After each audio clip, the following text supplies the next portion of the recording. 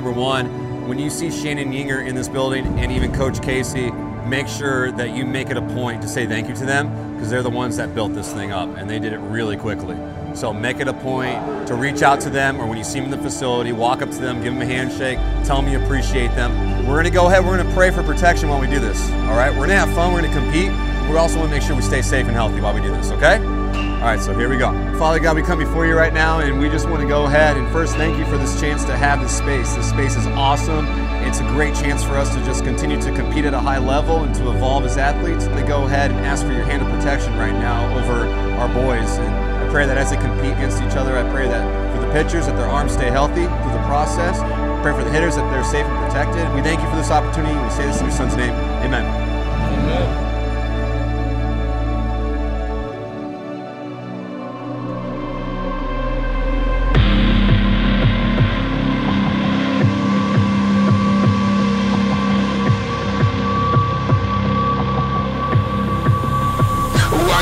To see somebody's need for speed? I can put our wings in the wind faster than you could ever believe. Are you ready to rock? Fun that don't ever stop. We are on a crash course of freedom that's running on as long as we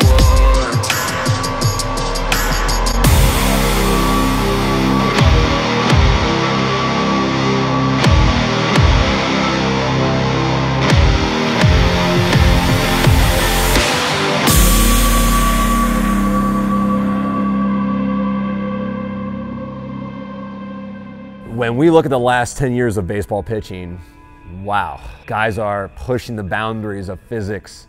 They are throwing harder than they've ever thrown before. Evolution of technology such as Rapsodo and slow motion cameras, independent studies from companies such as Driveline really started to shift our mindset on uh, multiple things throughout the, the, the pitching community, whether that's warm-up protocols, cool down protocols, training protocols. Starting to get measurements on what the muscles are actually doing for elite throwers. Starting to look at more about movement patterns than actual positions and uh, per se mechanics. Another shift that we've seen is weight room protocol. It used to be where baseball players, especially pitchers, um, didn't lift. Didn't lift. It was seen as dangerous. Um, the risk was higher than reward.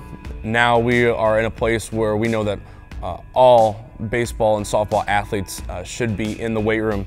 Um, athletes are bigger, stronger, and faster and more efficient than they ever have been before in history. This is an exciting time to be involved in baseball pitching right now and overhand throwing development. But what we've also seen is there is this culture being created though, this culture of fear. We're seeing it primarily at the youth and high school level uh, with athletes, with coaches, with families right now. Fear of injury, uh, fear of doing too much, fear of using the wrong uh, training equipment. And this fear is not getting anyone better. This fear is not gonna let athletes continue to develop. What's gonna let them continue to evolve is in fact being fearless. It was a very clear path in 2015 how we were gonna get started and a lot of that has to do with one man and that is Alan Jaeger. Hi, thanks for stopping by today. Uh, my name is Alan Jaeger and I'm with Jaeger Sports. Alan Jaeger, consultant to numerous teams in Major League Baseball, joins us now among those teams the Rangers, the Cubs, the Astros, and the Indians. Alan, it's great to have you on the show. Welcome aboard. Hey Brian, thanks a million for having me on.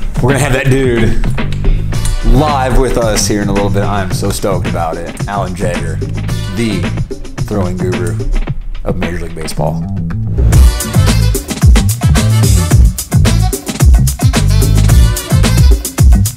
Alan.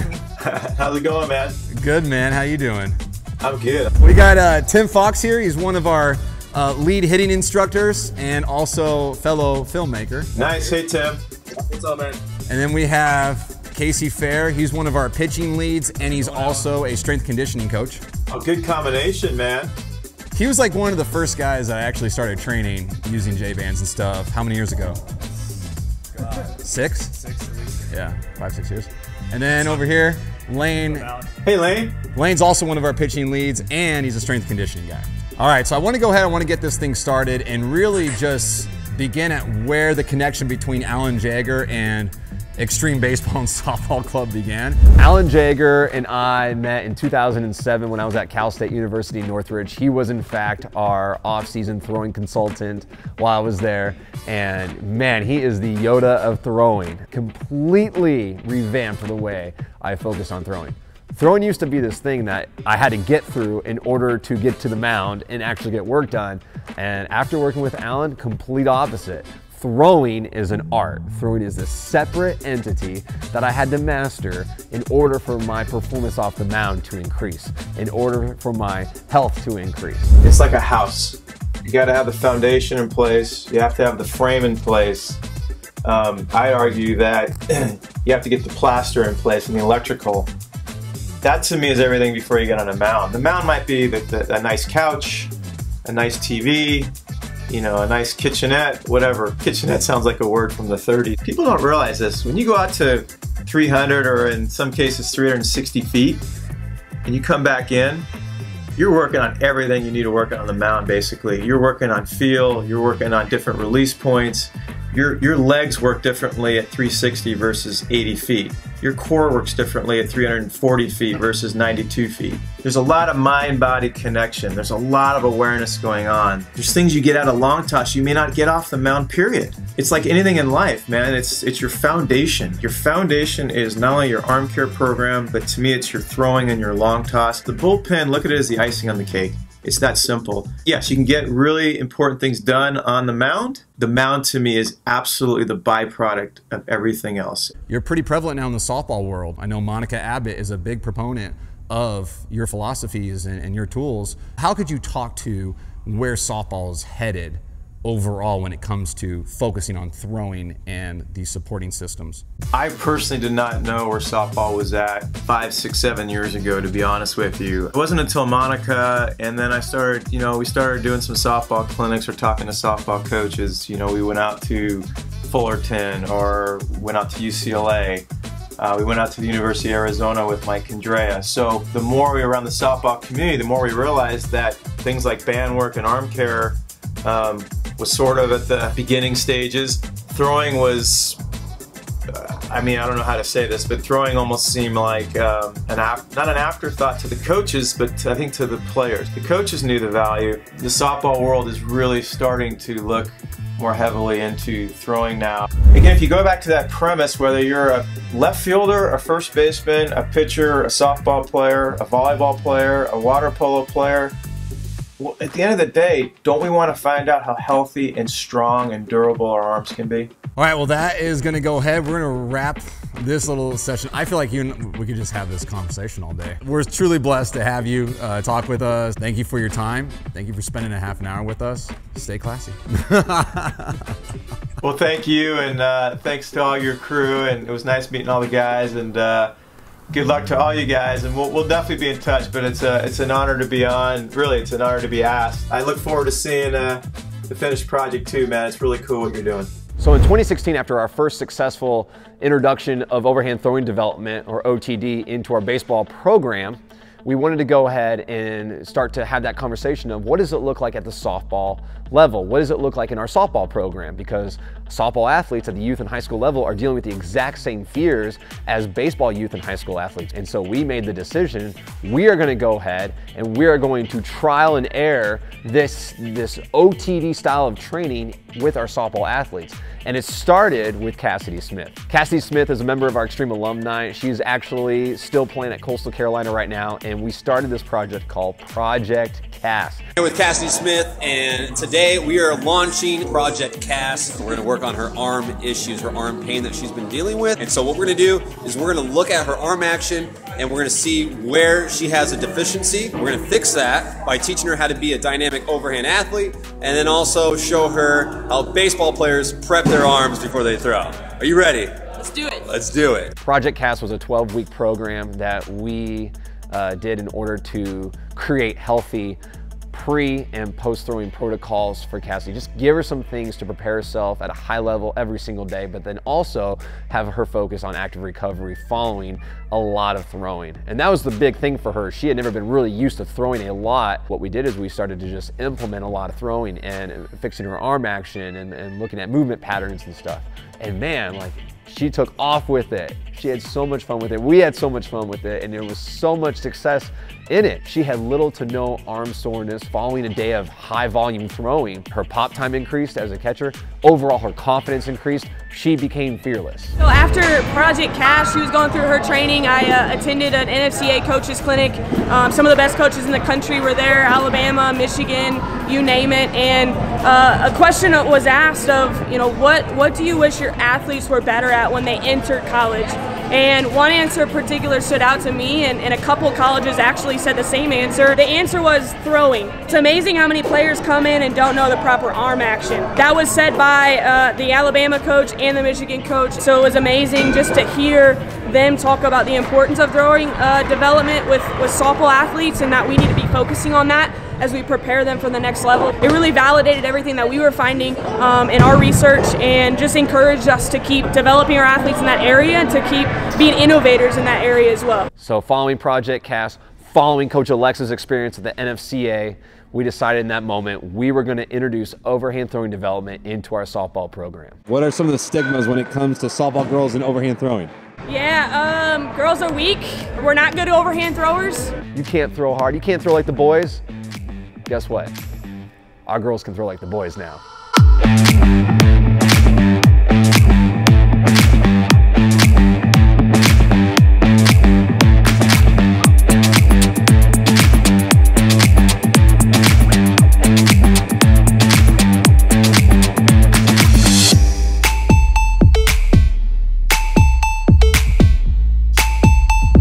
Our girls can chuck now. Boom, boom, boom, boom, boom.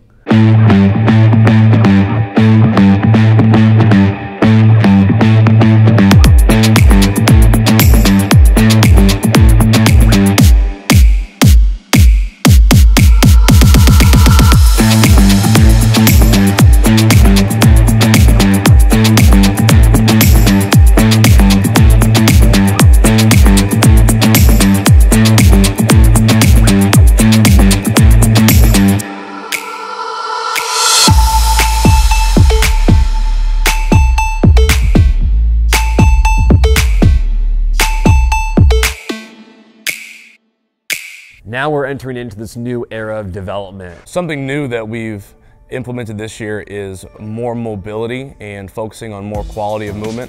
Uh, one thing we see with a lot of our overhand throwing athletes is that um, they are constantly fighting against their own athleticism um, in order to self-organize their mechanics. And we usually see pitchers move poorly for two reasons. Uh, one, they're just immobile. They're immobile and they're weak. Or two, they've just been taught incorrectly uh, how to move. So we've really prioritized the shift into moving better. The biggest thing that we've done is provide opportunities for them to learn how to be their own best coach and put them in positions for them to succeed. We're also creating relationships with other leaders in our sports. So whether it's Rapsodo or it's Jaeger Sports or it's Driveline Baseball, we're connecting with the top leaders and minds in our sport because we want to continue in our education. There's a saying in baseball, if you stop learning, you die. We cannot stop learning about this game, about how we should move as athletes, specifically overhand athletes.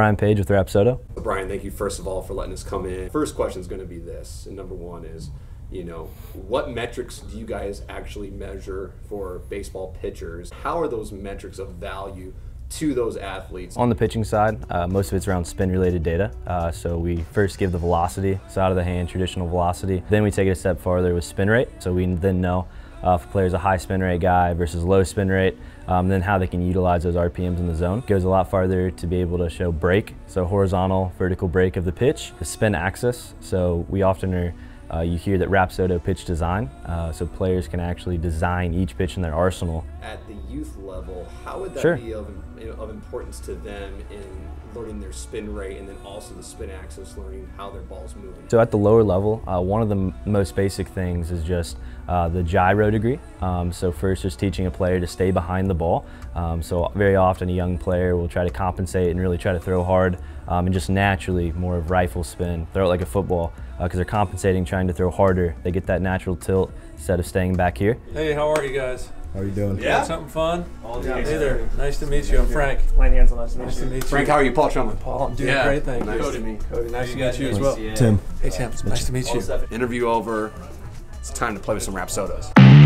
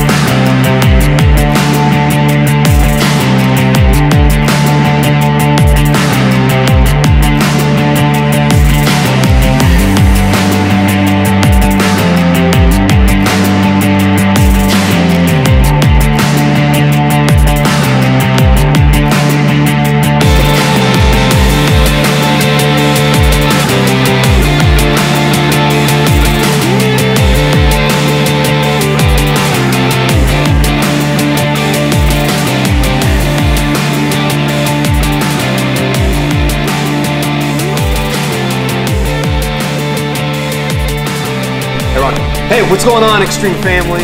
We are filming right now for the Evolve Series Episode 2, and that led us to going to Rapsodo. What we're gonna do is we're gonna go ahead and do live ABs right now. So I'm gonna go ahead and I'm gonna pitch live to Cody. We warmed up, we look good. Um, let's just try not to kill Cody. That's, Yes. that's really what we're Pray going for for, me. right here. Pray for me. If you're gonna pan over to this, you're gonna see pitch data and hit data. Ready? Yeah. That's a nine. Cody, green light? Yeah. Red means stop. Is that a strike? Heck, that's a Get out of here. Hold up. You guys know about it, not. Just outside, ball one. Ah! That's all I got outs. Look out, He got the camera, man. It's not every day you wake up and see 90 mile per hour fastball. 89. From Tremblay. Ooh. Welcome back. Jamie, Jamie, Jamie, Jamie. Are you watching it? Yeah. Yeah. 89. A little. Oh, you'll get 90. Battling, baby. Full count. Full count. Let's go. Challenge him, Paul. Oh! 90. Whoa, Last 90. one, 90. Dude, you need to go get a tryout. No. Struck out Cody Massey. All right, Paul. How'd it feel to get back on the mound again? I mean, from a competitive standpoint, it felt really good. Um, I can feel it though right now. I probably threw maybe 15, 20 pitches, max intent, and uh, I'm, I'm feeling it right now. But it was fun. It was a great time. I got to strike Cody out, so that's all I care.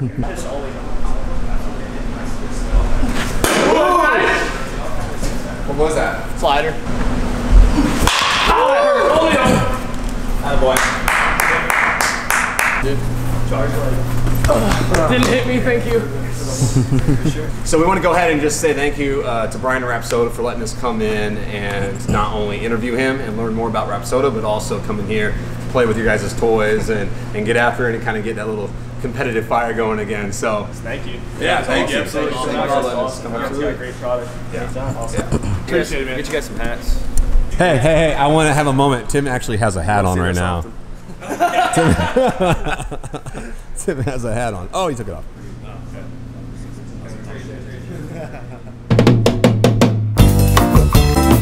Here we go. Hey, all right, welcome to our building is currently getting light work in.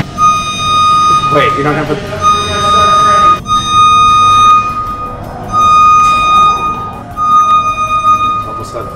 And we're live here. Welcome to Tool Time with Coach Paul and Coach Lane. We're going to go ahead and show you the tools that we use in network pitching. We're going to have to describe each tool, by the way, in under 10 seconds, or at least try. All right, first things first.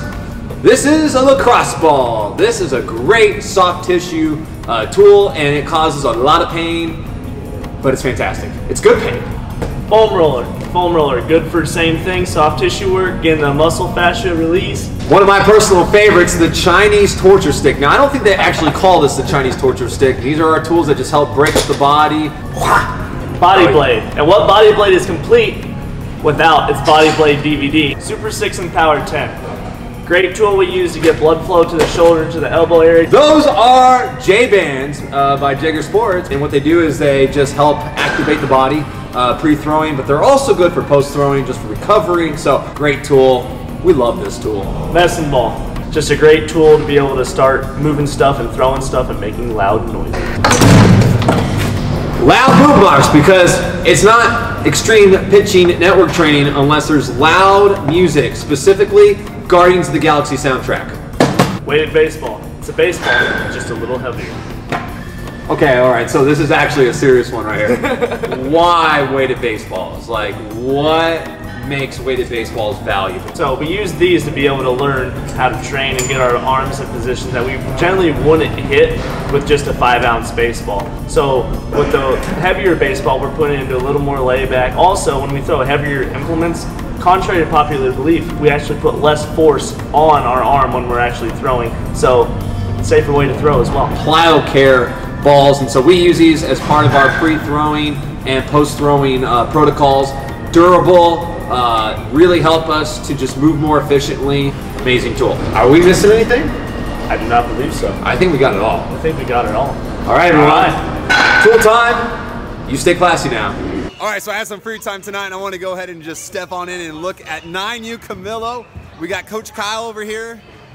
He's leading the network pitching hour right now. Let's go find some of his kids now. Let's go see what they're up to. What are you working on right now? Um, rockers. You're doing rockers off of a flat ground? And what does that help you with? Um, I think pitching more strikes instead of balls. That sounds like a good answer. What's your name? Magic Smalley. Maddox Smalley. You know what you're working on right now? Rockers. You're working on rockers going down the mound, but what are you throwing right there? What is that in your hand? Bio care. All right. Did you know that that yellow is close to a baseball weight? Yes. You having fun? Yeah. Do you enjoy learning here? Yeah. Yeah, you're learning a lot? Yeah. Awesome, man. Is Coach Kyle awesome? Yeah. Great interview. Give me some.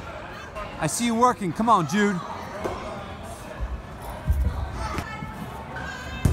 Are they throwing quality strikes to you right now? Kind of. Kind of. Network pitching. You know, they're nine years old. They just started pitching. Are they loving it? Are they learning?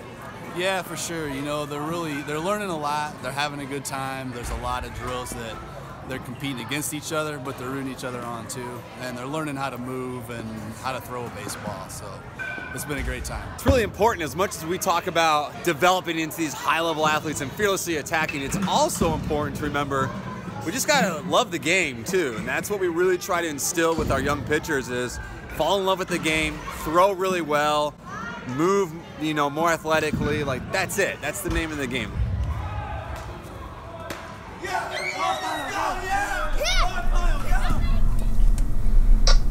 What's up, homie? It is on like Donkey Kong. what is? Dude, the live cages are being built today. Check it out, man. Under construction. Oh, sick, dude. That's pretty tight, man. Tanks off all your pitchers. All right, dude. Sounds good. Hey, good news, man. Sick. Yeah, later. What's up, Shannon? What's up, This is the guy we're gonna talk to right now about this. Okay, so Cody, Cody reached out to me, and Cody said that Live AB space is going up. Live AB space is rocking. That leaves us perfect timing, right on schedule. Wow, you really had to walk around. Give us the vision a little bit, like what's going where, and Sure, sure. We're gonna have two cages basically for live ABs. Our pitchers are gonna be pitching from there. Actually, hitters. So we'll be gonna throwing this way. We're gonna be throwing this way. Okay. It's gonna be fun. Nice. It'll be be a blast. Roof is going up on a Saturday. We'll be smashing balls tomorrow. Welcome to the new space. It's complete. Shannon and Casey knocked it out, man. So basically what we're working on right now is we're moving the mounds. We're gonna go and actually start live tonight. And really excited about it. Really excited. Nervous, but excited. Oh, oh, oh. Sniper. Good? Oh, normal. That's actually a lot harder than it looks.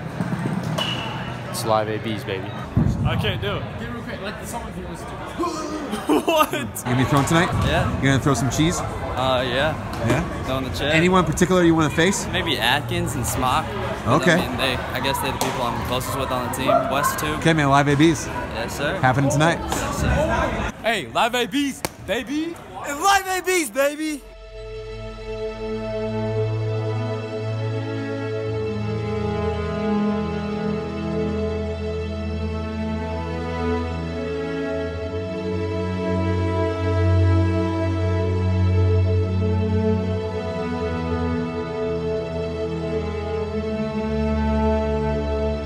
There's this concept that we talk about, and that is fearlessly attack. When you hear that phrase, fearlessly attack, what do you think of right away? No holding back. No holding back. I love it. In and up. Attacking the hitters, toeing the rubber. Yeah, that's where most guys go. And the reality is, yeah, that's true, but it's more than that. It's actually about what are you doing away from the mound? What are you doing away from the lines? Are you doing your protocols? Are you staying committed? If the answer is yes, you're gonna have a good season. You're gonna produce. You're gonna stay healthy. It's about preparation, guys, and you guys did that this year. Having that, knowing that you guys did more than the other guy, that's why you're gonna succeed. And when you don't succeed, you have a plan to fix it. That's the most important thing, guys. You guys are gonna be the ones that have a plan and doing something different. So I challenge you to be different. Be different than who you're gonna play. Because guess what? How many dudes that you know are gonna do your post throw for 15 minutes after they get done throwing? That's the stuff that's gonna separate you okay? It's not the sexy stuff. It's not the stuff about hitting the home runs. It's about the dude who's gonna do the little things on the outside that no one else is doing because it's about building for long term. If you guys can build that foundation to come back to each and every time, then you guys are gonna know when it gets hard, when you just went 0 for 3, when you just didn't, you couldn't throw a strike, that you know you have a plan to fix it because you are going to fix it and then you're gonna come out and you're gonna shove and that's what's gonna make you guys the, the better players on your team. I want us to focus on fearlessly attacking the label that we're given. If the label that we're given is, hey, I'm going to be on varsity this year, I want us to focus on fearlessly attacking that label and being the best that we can possibly be and making uh, an impact for our team. If the label is something that you did not want, you have to fearlessly attack that and find your way to climb up the ladder. You have to find a way to be a good teammate, to find a way to, like Lane said, do those little things right because your coach will see that, and in the long run, that's the stuff that will um, accumulate and make you a better athlete. Five years ago, we wanted to change the culture of throwing. We wanted to change the culture of fear. We're doing that right now. And I'm excited to see what the future holds for us. I'm excited to see our athletes fearlessly attack.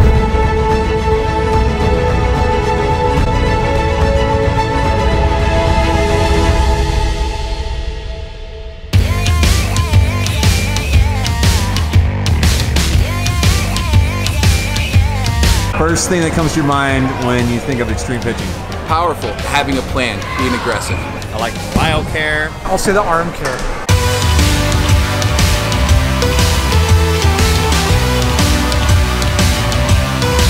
Extreme pitching, what do you think about? Paying attention to details, trying to get more power out of these kids. Cutting edge. And getting geared up before we even throw a ball. Breakdown in detail. We're thoroughly enjoying every part of our first year. OTD, overhand throwing development. System to develop the athlete.